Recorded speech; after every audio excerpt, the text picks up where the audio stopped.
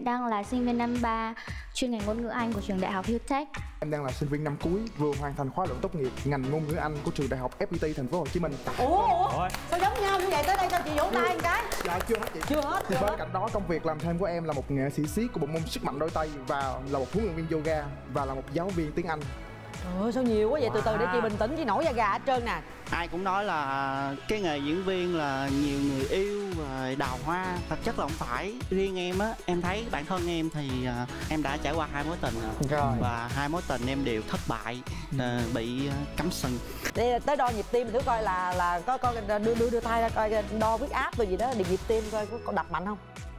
Sao? Dạ mạnh. đây đây nè tim tim tim nằm bên trái bên phải biết không? À, ở giữa. Ở giữa. Cái gì tim nằm ở giữa bà? Bậy bậy tim bậy. nào nằm ở giữa tim đâu? Thì nó đập thì cũng nghe thấy thôi. đâm ra thử con có nghe không? Ôi, hả? Rồi em thấy sao? Không.